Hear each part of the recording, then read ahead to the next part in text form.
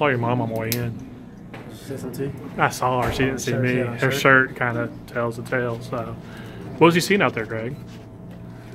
Uh, FSU has a great defensive. Uh, I mean, they have a great secondary. Uh, I thought we came in here, came into this game like really, really prepared for what they were going to do. Uh, we just came up short.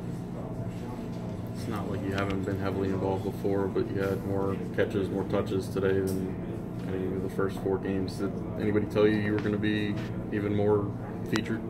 Um, no, I mean, coming in, we just knew we followed our game plan and uh, just did everything we were supposed to do. And um, hopefully, we come away with a win. But today we did. What's your feeling?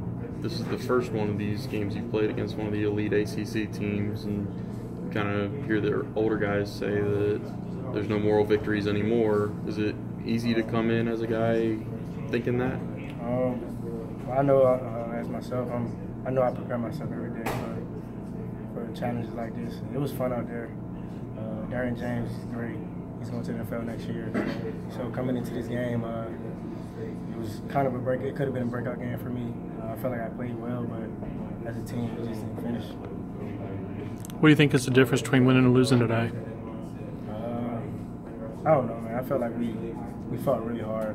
We, get, we kept them in the game. We kept turning the ball over. Uh, I don't know. I don't know. Think you learned anything about what you guys are capable of tonight? Uh, I think we showed uh, the whole world that first of all, this is this is the standard. Uh, this is not just a new Wake Forest. This is something Wake Forest is going to continue to do, and we live up to a high standard. And we should have came away with this W today, and we didn't. So it's not really a surprise to me that we were in the game because I expected us to be in the game. Thank you. Graduate Willie. Yeah. Thank you.